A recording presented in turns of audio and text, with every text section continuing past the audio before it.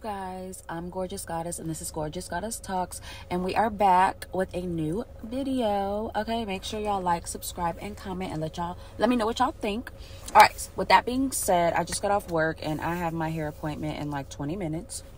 I just wanted to show y'all the before of how my hair looks you know how long it is um and just you know how it looks before i get a retwist and before we start the process of snip, snip, snip, snip. I'm going to take y'all along with me for the process. And if I'm dramatic, just know it's real. Uh, okay? It's real. I have an attachment to these things. Okay? But I know it's for the good of the hair, for the healthiness of the hair. We're going to do it. Um, and um, just, yeah, I appreciate y'all coming, coming with me on my journey. Okay. So these are just a few pictures of my hair, a close up of how it looks before she's done anything to it with me just sitting in the chair.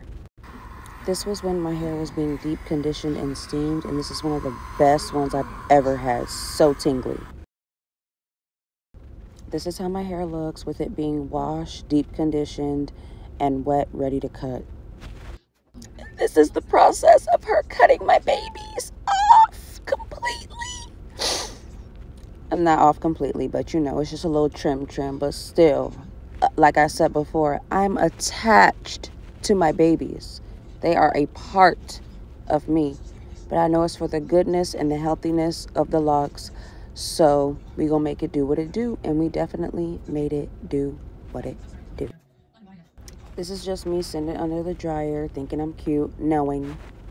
And this is the finished product of how my hair looks, twist, retwisted, and trimmed and healthy.